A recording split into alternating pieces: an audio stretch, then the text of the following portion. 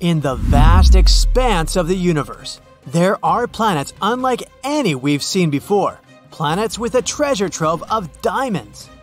What mysteries do these sparkling worlds hold? What do they look like? And most importantly, just how much would it all cost? Let's find out. First of all, let's take a look at diamonds in general. We see them as rare and valuable gems, but did you know that they actually come from something as ordinary as carbon? That's right, this is the same element that's found in your pencil lead or coal. This is also the key ingredient in a diamond. But how does a plain old carbon atom turn into a dazzling diamond? Well, it all starts deep beneath the Earth's surface.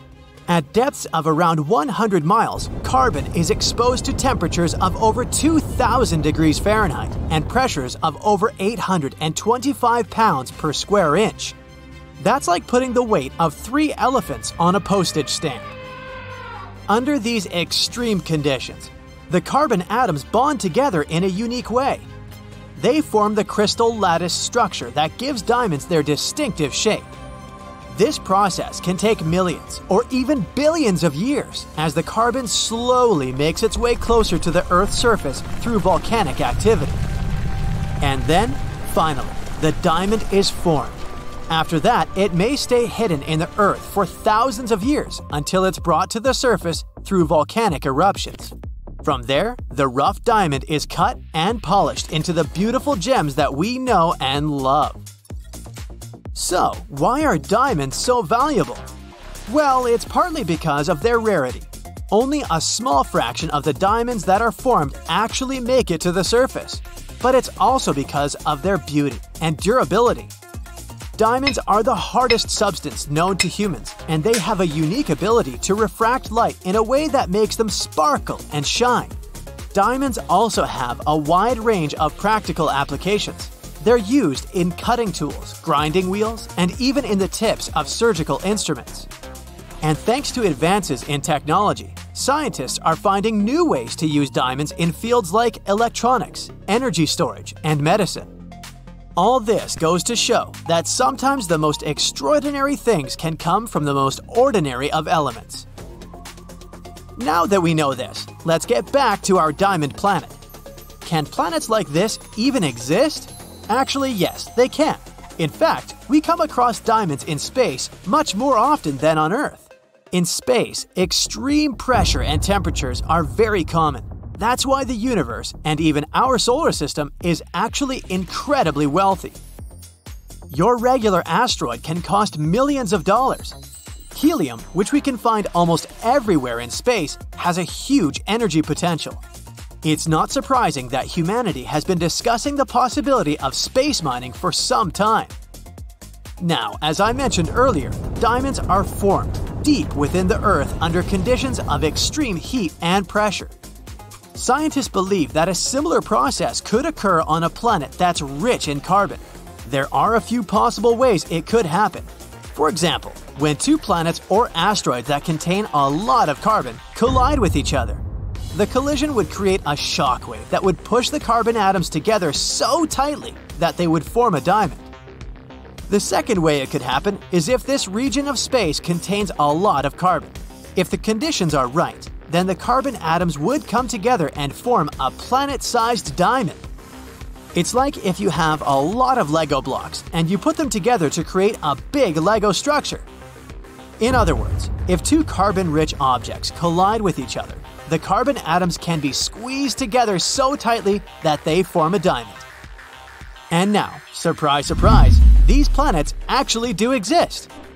The planet we're talking about is called 55 Cancri e. It's one of the five planets in a small system in the constellation of Cancer.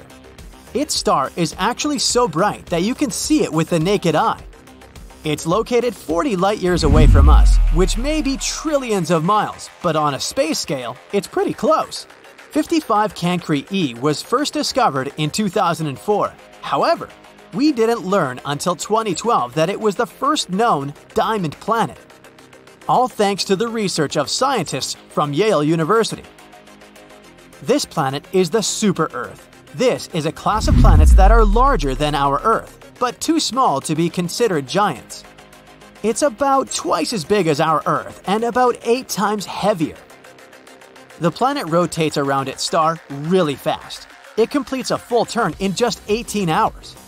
This means that one year on the planet is less than a day on Earth. It's also tidally locked to the star.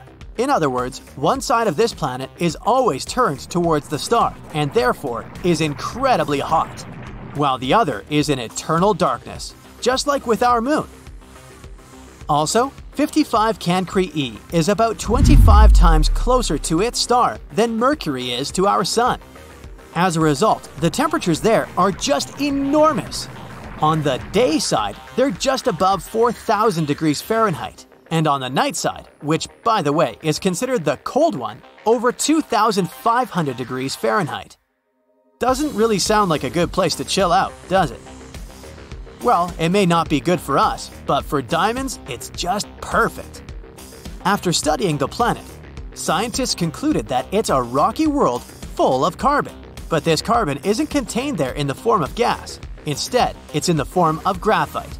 Yes, the same one found in your pencils. And, of course, diamonds. According to some estimates, diamonds can make up at least a third of 55 Cancri E. It can cost about 27 nonillion dollars. There are 30 zeros in this number. Can you imagine that? But the most interesting question is, what would such a planet look like? First of all, the thermal evolution and tectonic processes there are completely different compared to our Earth. In other words, the planet should be full of strange volcanoes and some bizarre volcanic activity. Weird mountains and stuff like that. In addition, the planet is probably covered with large clouds of dust, and the atmosphere on it is very dense. Oh, and the weather there is definitely crazy. The researchers are planning to learn about the composition of 55 Cancri E's atmosphere in the future, but right now it's already pretty clear that this planet can't be called habitable. Well, finding life there is theoretically possible, but it's very unlikely. Life on a diamond planet could potentially exist deep underground, for example. On Earth, we've already observed bacteria and microbes that can survive under incredibly extreme conditions. These guys are very resilient. They're capable of turning chemicals into energy and surviving, basically anywhere. So, on a diamond planet, life could potentially exist in this form. And who knows, extraterrestrial life may also take forms that are completely unknown to us. Wouldn't it be cool to discover some crystal creatures capable of surviving in the most extreme heat? That would be mind blowing! And guess what? It's not just 55 Cancri E that's full of diamonds. Other potential diamond hotspots include Pluto's largest moon, Charon, and a Jupiter-style exoplanet rich in carbon found 1,200 light-years from Earth called WASP-12b.